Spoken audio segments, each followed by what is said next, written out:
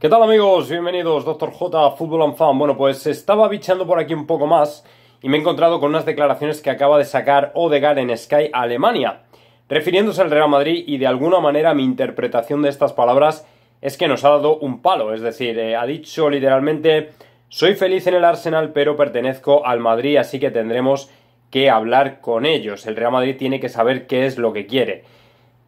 O sea, es como de alguna manera decir, mirad, dejadme de marear ya y decidíos ya a ver qué queréis conmigo y que no. Bueno, dejadme que os diga que en parte tiene razón. O sea, el bueno de Martín Odegar es cierto que ha estado a las órdenes de lo que haya dicho el club cuando se fue la primera ronda de cesiones que tuvo por ahí en Holanda y todo esto pues se fue precisamente a petición del club porque creían que era lo más lo mejor para él luego se volvió a España estuvo en la Real Sociedad cuando le dijeron deja la Real Sociedad para acá eh, la temporada pasada también lo hizo. O sea, yo creo y hasta cierto punto entiendo un poco su hartazgo, ¿no? Y entiendo que en este sentido tiene razón y tiene eh, el Real Madrid que aclararse qué es lo que quiere. Pero claro, es que es un poco todo. Ahora el Real Madrid tiene que aclarar primero qué va a hacer. ¿Qué entrenador va a tener? Si Zidane se queda, si Zidane se va, si viene Raúl, si viene Alegri, ¿qué quieren hacer con él? Todo este tipo de cosas. Entonces, hay que decirle a Martín Odegaard que es que esto va un poco más lento de lo que parece y que todo es un poco más complicado de lo que parece. Pero en cualquier caso, yo espero y cuento con que si viene Raúl, Martín Odegar sea de la partida y sea un jugador importante